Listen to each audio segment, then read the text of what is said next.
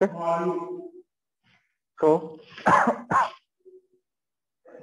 दोघांमध्ये काय basic difference होता? तो आपण बघितला होता. First angle method how your first angle method symbol is represented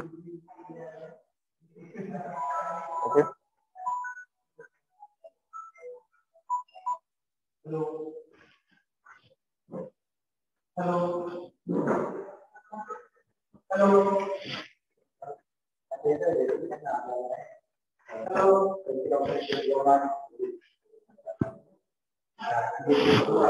Just wait for a five minutes.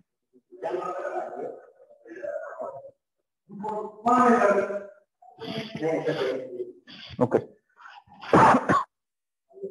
so object is placed on the ground. So by using first angle method or third angle method. आपण त्याचे projection कसे होता हे बघितलेले होते this is your H P horizontal plane then it is your vertical plane then it is projection plane. So next next how to draw draw actual actual isometric view into isometric or orthographic view. Okay त्यावरती आपण काही problems आहेत ते problem बघणार आहे okay so हा example आपण बघितलेलं होतं बघा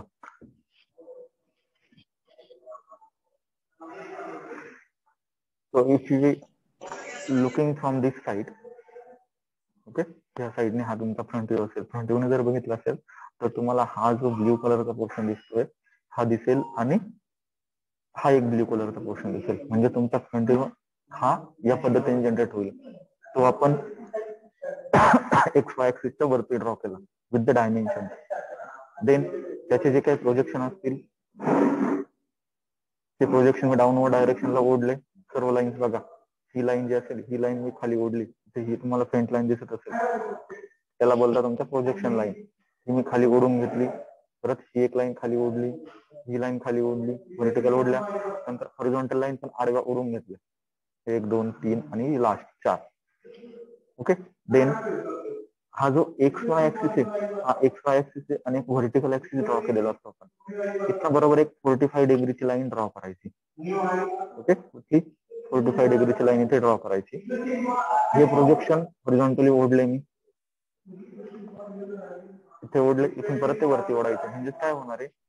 ही जी लाईन आहे ही लाईन हॉरिझॉन्टली फिरून परत व्हर्टिकल लाईन इथे कनेक्ट होणार आहे. म्हणजेच तुम्हाला जो काही साईड आहे हा साईड व्ह्यू कुठलाही डायमेन्शन घेऊन ड्रॉ करायची गरज पडत नाही.